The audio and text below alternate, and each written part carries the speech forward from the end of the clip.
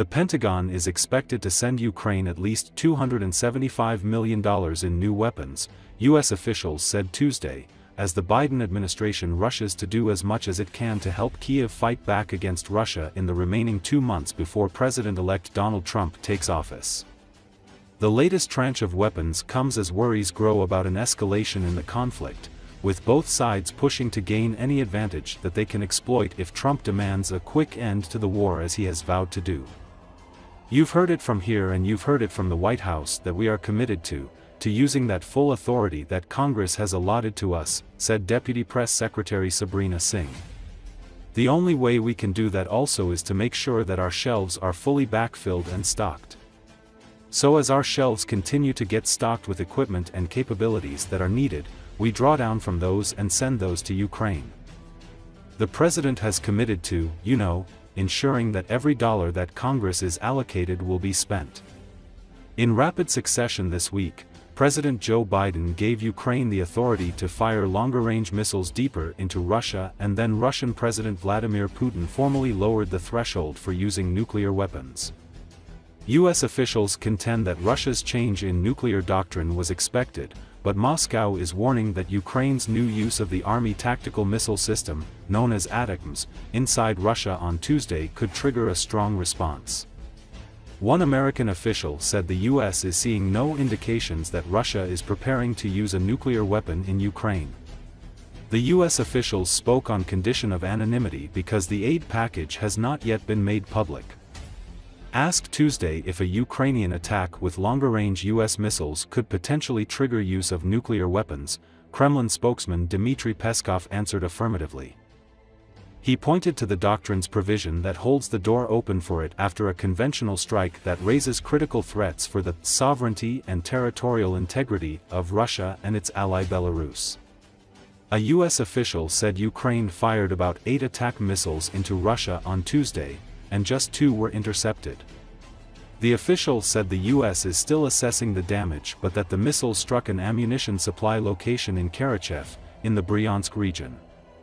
The weapons in the new package of aid for Ukraine include an infusion of air defense, including high-mobility artillery rocket systems, as well as 155mm and 105mm artillery rounds, Javelin anti-armor munitions and other equipment and spare parts, U.S. officials say.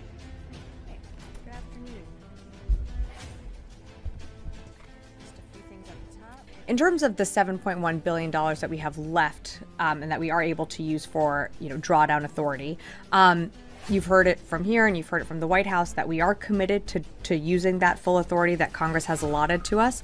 Um, the only way we can do that also is to make sure that our shelves are, are fully backfilled and stocked. Um, so as our shelves continue to get stocked with equipment and capabilities that are needed we draw down from those and send those to ukraine. Um, the president has committed to, you know, ensuring that every dollar that Congress has allocated will be spent. So if you're still waiting for the stockpiles to be replenished before sending, how do you get there before January 20th?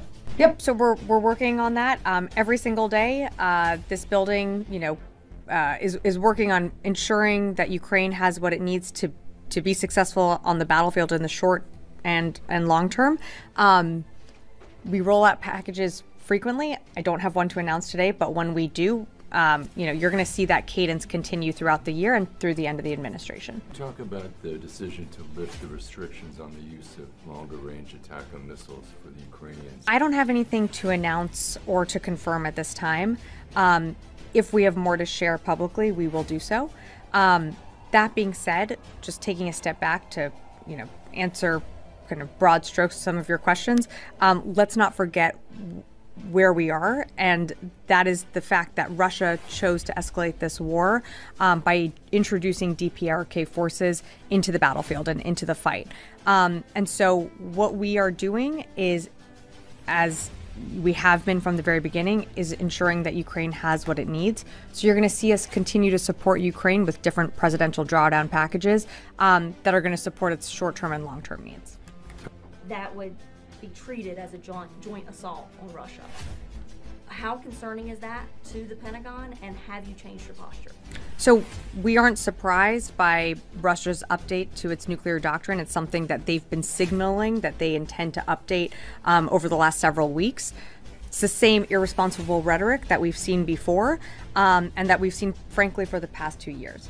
So it's something that we're going to continue to monitor, but um, we don't have any indications that Russia is preparing to use a nuclear weapon within Ukraine, and we don't see any, um, you know, we, we don't see any uh, changes that need to be made to our own nuclear posture as well. Like, why can't the Pentagon comment publicly on this monumental decision? In terms of the comments on, you know, an escalation and a larger war, um, we don't share that. What we what we do believe is that Russia has escalated this war with bringing in, you know, over 11,000 DPRK soldiers into the fight. Um, and a commitment from this administration is to continue to arm Ukraine um, with what it needs on the battlefield. We don't see that as escalatory. We see that as a commitment that we set out from the very beginning of this administration.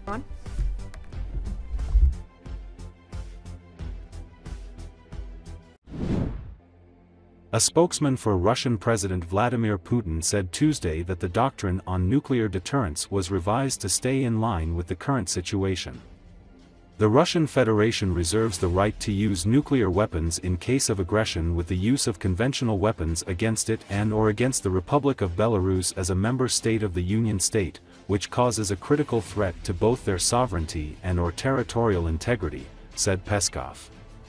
Aggression against the Russian Federation by any non-nuclear state with the participation or support of a nuclear state is considered as a joint attack, he added. Putin signed a new doctrine Tuesday that lowers the threshold for using nuclear weapons.